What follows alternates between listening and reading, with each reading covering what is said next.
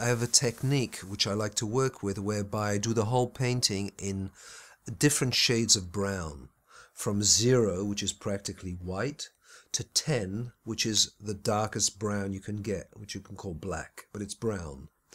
And it's brought to a finish whereby I've put it through the tests of looking at it upside down, looking at it in a mirror, looking at it from a distance, looking at it close up, looking at it by candlelight, all these tests until I really am happy with it. And then comes the hardest part, is the color.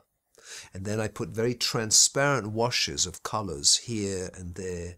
And I might have something like 20 layers of transparent colors. You have to wait till each one dries but the brown is still working all the way through. So that means I could have 20, you could look at it with a microscope, and you see there's different levels of colors. Let's say my green will not be a green that I just took out of the tube. It took 20 colors to make that, that green, as well as the brown foundation that's still traveling all the way through the colors.